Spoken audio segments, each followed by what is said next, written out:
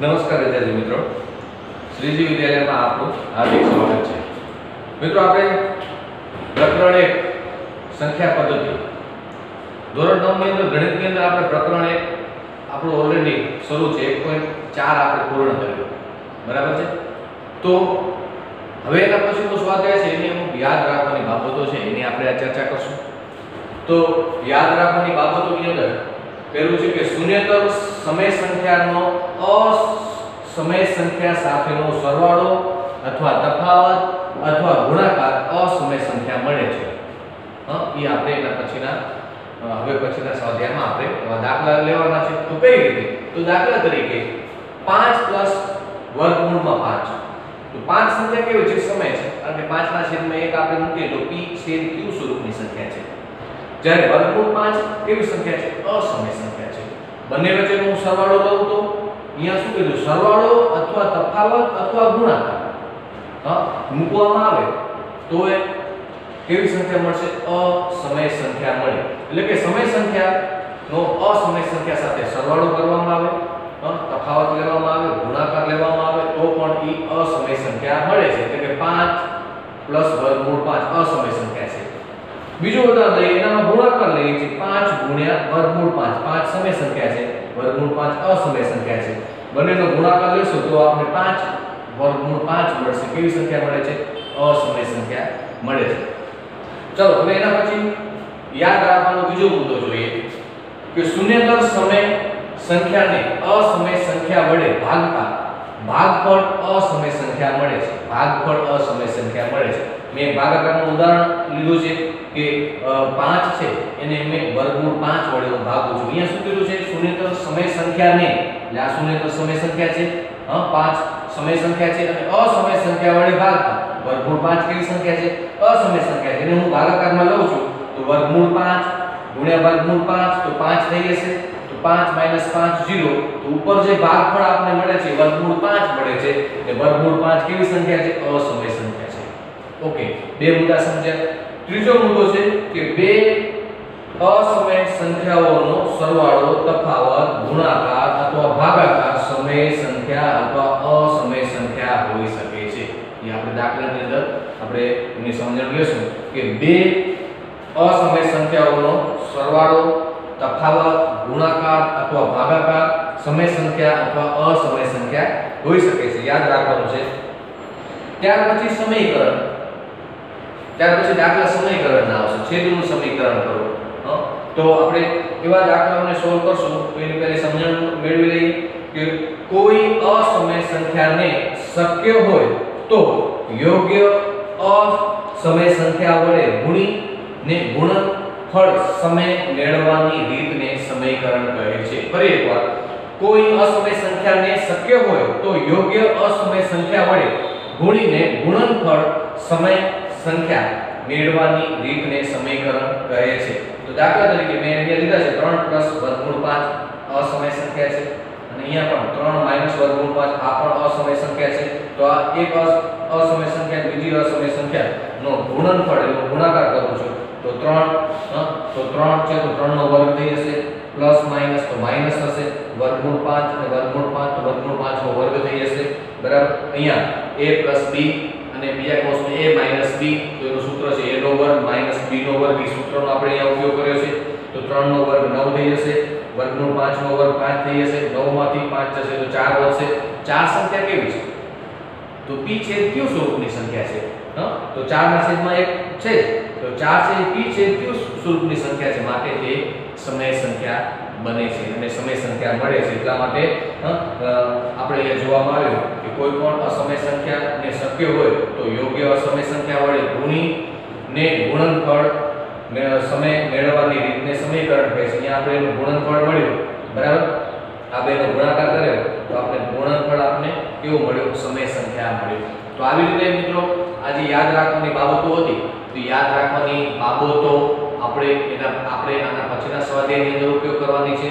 તો આ જે તમને અત્યારે મેં સમજાવ્યું છે, એનો હવે આપણે સ્વાધ્યાયની અંદર તેનો ઉપયોગ કરશું.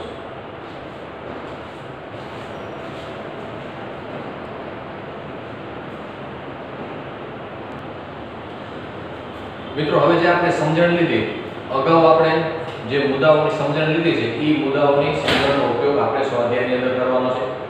તો આપણે જે આગળના જે યાદ રાખવાના મુદ્દા હતા, એની આપણે સમજણ લીધી. હવે આપણે જે એની સમજણનો ઉપયોગ અહીંયા કરશું.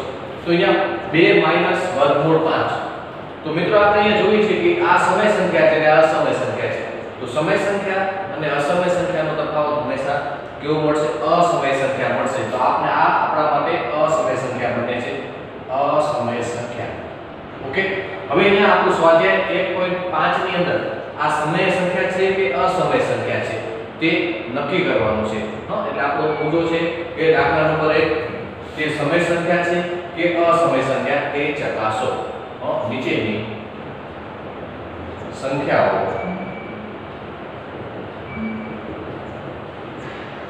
સમય સંખ્યા છે કે અસમય સંખ્યા તે ચકાસો. હા, ઓકે. તો આપણે અહીંયા જોયું 2 માઇનસ વર્ગમૂળ 5 તો ઈ અહીંયા આપણે અગાઉ જે યાદ રાખવાના મુદ્દામાં પણ આપણે સમજણ લીધી કે અસમય સંખ્યા અને સમય સંખ્યા અને અસમય સંખ્યાનો ગુણાકાર હોય બાદબાકી હોય, તફાવત હોય, એ કેવું મળશે? અસમય સંખ્યા મળશે. કારણ કે, એ કારણ કે સમય સંખ્યા 2 અને અસમય સંખ્યા વર્ગમૂળ 5 નો તફાવત છે. એનું કારણ થશે. તો એના પછી બીજી દાખલો છે કે 3 વર્ગમૂળ 23 કૌંસમાં છે અને કૌંસની બહાર માઇનસ વર્ગમૂળ 23 છે. તો આપણે અહીંયા સમજણ લેવા જશું. તો 3 વર્ગમૂળ 23 અને માઇનસ વર્ગમૂળ 23 વર્ગમૂળ 23 અ, એ પ્લસ ઓર માઇનસ છે એટલે એ ઉડી જશે એટલે 3 મળશે તો 3 સંખ્યા કેવી છે આપણા માટે? સમય સંખ્યા છે. તો આપણે આ જે ઉપર આપેલું છે એ કેવું બની જશે? સમય સંખ્યા. આ સમય સંખ્યા બનશે બરાબર? અહીંયા ત્રણ મળે છે. ત્રણ કેવી સંખ્યા છે? p છે q સ્વરૂપની સંખ્યા છે. માટે સમય મળશે 2 વર્ગમૂળ 7 છેદમાં 7 વર્ગમૂળ 7 એ 2 છેદ 7 સ્વરૂપનું છે. તો આપણે પહેલા એની સમજણ લઈ લઈએ કે 2 વર્ગમૂળ 7 છેદમાં 7 વર્ગમૂળ 7 તો વર્ગમૂળ 7 અને વર્ગમૂળ 7 અંશ અને છેદમાં જે ઉડી જશે. તો આપણે અહીંયા જવાબ મળશે 2 ના છેદમાં 7 2 ના છેદમાં 7 કેવી સંખ્યા છે? P છે, q સ્વરૂપની સંખ્યા છે, જેને આપણે સમય સંખ્યા કહેશું. એટલે આનો જવાબ આવશે સમય સંખ્યા. હં? આ સમય સંખ્યા બને છે. હં? અહીંયા આપણે એની સમજ પણ તમારી સાથે શેર કરીએ છીએ. હં? ઓકે હવે અહીંયા એકના છેદમાં વર્ગમૂળ 2 છે. આપણે જોયું કે અહીંયા આપણે p છે, q સ્વરૂપમાં કહીએ પણ અહીંયા વર્ગમૂળમાં છે બે. હા વર્ગમૂળમાં બે હોય, વર્ગમૂળમાં ત્રણ હોય, વર્ગમૂળમાં પાંચ હોય, વર્ગમૂળમાં સાત હોય, આવી બધી સંખ્યાઓ અસમય સંખ્યાઓ છે. માટે આ અસમય સંખ્યા બનશે. અસમય સંખ્યા છે. આ અસમય સંખ્યા છે, જેને આપણે સમજણ લઈ હવે પાંચમું છે 2π કારણ કે બે ગુણ્યા પાય પાયની કિંમત 3.14 લઈ છે હા? તો 2 ગુણ્યા 3.14 પછી 15 plus ડેશ ડેશ ડેશ એ અનંત સુધી વિસ્તરેલી છે. તો એનો એના સાથે ગુણાકાર કરશો તો 6.28 30 હા, એટલે કે 2830 પછી ડેશ ડેશ ડેશ ડેશ. એનો મતલબ કે અનંત અનાભૂત દશાંશ સંખ્યા છે. અનંત અનાભૂત દશાંશ સંખ્યા હોય તો એવી સંખ્યાને આપણે અસમય સંખ્યા કહેશું. બરાબર? અનંત અનાભૂત દશાંશ સંખ્યા હોય એને આપણે અસમય સંખ્યા કહેશું. પરંતુ અનંત આવૃત દશાંશ સંખ્યા હોય તો તો સમય સંખ્યા કહેશું. હા? તો આપણે અહીંયા પાંચ, હા? એક દાખલા નંબર 1 માં પાંચ પેટા વિભાગમાં નાની સમજણ હતી કે તે સમય છે કે અસમય. તે- તેની મેં તમને સમજણ આપી. હવે ત્યાર પછી આપણે દાખલા નંબર 2 જોશું. દાખલા નંબર 2 એમ કહેવા માંગે છે કે સાદું રૂપ આપ. મિત્રો, હવે સાદું રૂપ આપો. દાખલા નંબર દાખલા નંબર 2 સ્વાધ્યાય 1.5 નો દાખલા નંબર 2 સાદું રૂપ આપો એના ચાર દાખલાઓ છે એના અંદર. તો ચાર દાખલાઓને આપણે સમજણ લેશું. હું અહીંયા સાદું રૂપના સ્ટેપ મૂકું છું.